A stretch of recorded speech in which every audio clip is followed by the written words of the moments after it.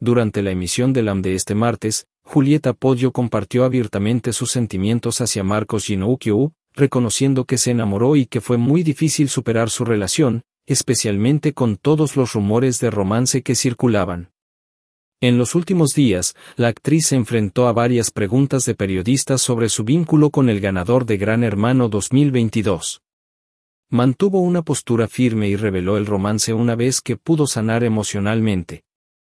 Horas después, el conductor del programa presentó la entrevista de Julieta y sus declaraciones sobre Marcos Ginoukiou. Me prometí que esta entrevista era la última vez que hablaba del tema, para mí está súper superado, comenzó la modelo. Cuando el notero le preguntó si Marcos le había escrito, ella respondió, sí, hablamos siempre. Siempre buena onda. Luego, enfatizó, no quiero hablar más del tema, fue algo a lo que le di mucha vuelta. El mobilero lanzó una pregunta picante que tomó por sorpresa a Julieta, ¿vos crees que Marcos estaba enamorado de vos? No, no. Me parece mucho, respondió ella, intentando cerrar la conversación. Fue una historia muy fuerte para los dos, fue algo re loco. Yo la verdad tengo los mejores recuerdos, confesó la ex participante de Gran Hermano. Además, admitió que ella sí se enamoró del joven salteño.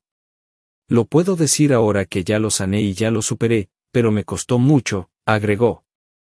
Para concluir, expresó que todo se dio como se tenía que dar, y que guarda muy buenos recuerdos de la relación. La revelación de Julieta Poggio sobre su relación con Marcos Ginoukiou ofrece una mirada genuina a los desafíos emocionales que enfrentó durante este proceso. Su franqueza al admitir su enamoramiento y las dificultades para superar la ruptura son un recordatorio de la complejidad de las relaciones humanas, especialmente en un entorno mediático. A través de sus palabras, Julieta muestra una valentía al enfrentar el escrutinio público y establecer límites claros sobre qué aspectos de su vida privada está dispuesta a compartir. Su determinación para cerrar ese capítulo de su vida y enfocarse en el presente refleja una actitud de madurez y autenticidad. Esta experiencia resalta la importancia de cuidar la salud emocional y establecer límites saludables en las relaciones personales, incluso cuando están bajo la lupa pública. En última instancia, Julieta nos recuerda que cada relación es una lección de crecimiento y que, a pesar de los desafíos, siempre hay espacio para la sanación y la esperanza en el futuro.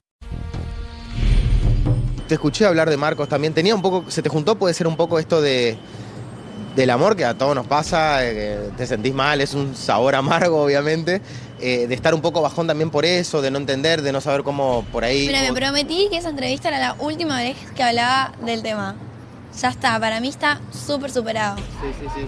Pero porque se linkeó, bueno, justo cuando hablaste dijiste, también justo pasó eso y, ahí fue que... No, pero me lo prometí a mí misma, dije, ah. última vez que toco el tema. Ya hizo mal hablar del tema? No, pero ya está, tipo, ya se cerró. Ya se cerró. Se superó. ¿Te, escribió Marcos? Sí, hablamos. Hablaron, hablamos, hablamos. Sí, sí, sí, hablamos siempre. Bien, bien, bien, ¿Te dijo algo por lo que dijiste en esa entrevista? No.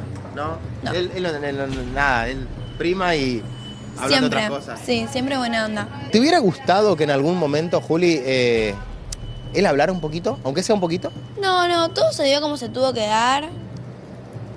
Pero no quiero hablar más del tema, te juro. Fue lo que le, lo que le di mucha vuelta, mucho tiempo y para mí ya está cerrado.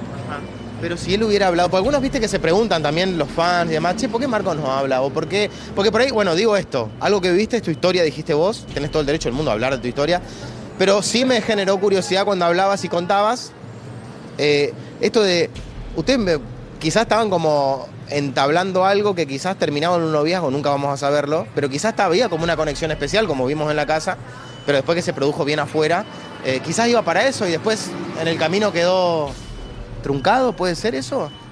Cada uno es como es, y yo respeto como es él y él respeta como soy yo, así que ya está. ¿Vos crees que Marco estaba enamorado de vos? No, no, no, me parece mucho. No, no. ¿No? No, me parece mucho. Mucho decir enamorado. mucho. Mucho. Pero sí encantado. O sea, todos mirábamos afuera que él estaba así. El, del mozo fue tremendo aquella, aquella vez que él estaba univolado. Estaba como. que fue una historia, o sea, muy fuerte para los dos.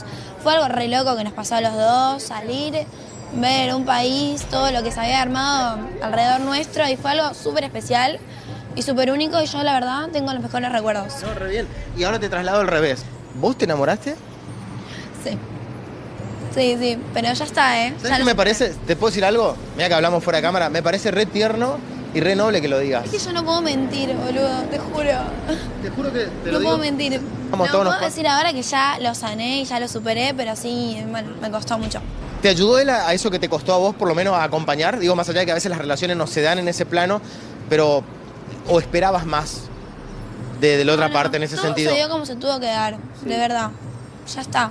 Tengo los mejores recuerdos y prefiero dejarlo ahí y ya no tocar más el tema porque es seguir ensuciándolo y ya. Y, y de la relación en sí con Marcos en este caso, ¿qué aprendí? Porque viste que uno dice, yo tuve tal relación, en cada uno uno aprende cosas, de la vida en general, que le sirve para adelante, ¿eh? no de ahí, sino para adelante a vos como, como alguien que se enamoró, que le pasó esto, que tuvo sensaciones, sentimientos. ¿Vos qué aprendiste de acá para adelante? Por ahí conoces a otra persona de acá en adelante que va a pasar.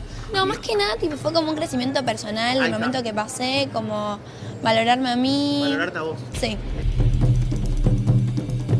Bueno, muy bien, Juli, reconociendo lo que re, le pasó. Chao, divina. ping, a otra cosa. Divina. Me gusta divina. cuando está suelta. Re. Ya está. Porque- Responde muy bien. Sí. Es difícil Muy clara. confesar, ¿eh? Es difícil No, confesar y que vos a- amaste y no te amaron. Abrirse así. divina, la verdad, divina. Divina. Sí. Porque imagínate que se fue enamorando en la casa, obviamente. Claro, cuando salió claro, claro. pudo concretar y después encontró un freezer